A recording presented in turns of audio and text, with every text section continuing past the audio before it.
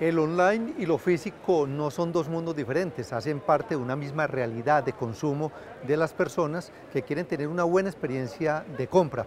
Y así lo ha entendido Grupo Éxito y eso es lo que vamos a hablar acá hoy en Negocios en tu Mundo.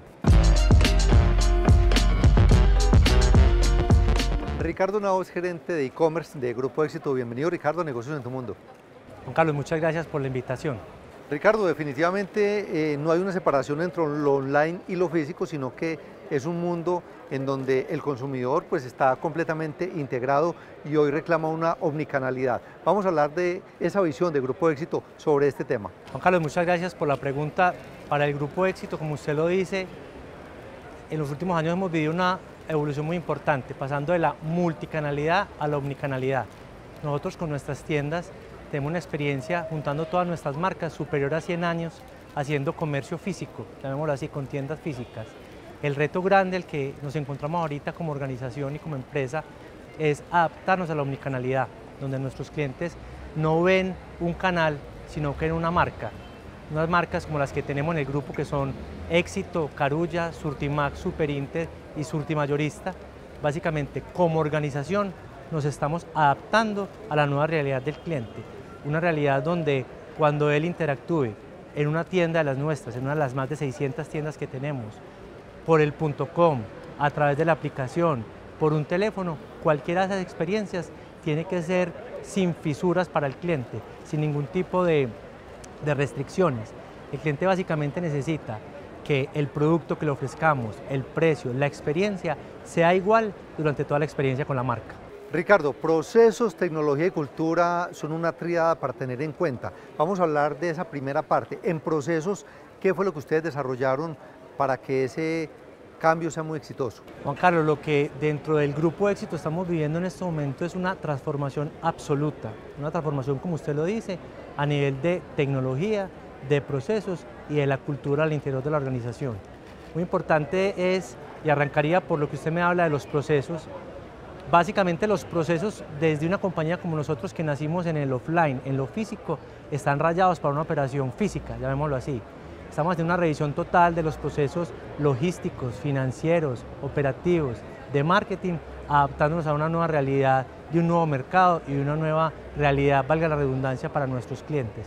En el tema de tecnología, obviamente estamos entrando a competir dentro de nuestro negocio del retail con compañías gigantes a nivel tecnológico en el mundo y básicamente ellas se están metiendo dentro del retail. Nuestra gran tarea ahorita es hacer inversiones en tecnología, tanto en sistemas del back, del front, sistemas logísticos, sistemas de administración del surtido, para poderle hacer frente a este nuevo campo donde estamos compitiendo. Y de última, pero no menor, es al interior de la compañía estamos viendo un enorme cambio cultural, donde claramente hemos identificado que nuestros clientes cambiaron, que nuestros jugadores con los que competían cambiaron y nosotros los empleados también hemos cambiado. Hoy estamos conviviendo al interior de la, organización. Millennial, Centennial, Generación Z, Baby Boomers.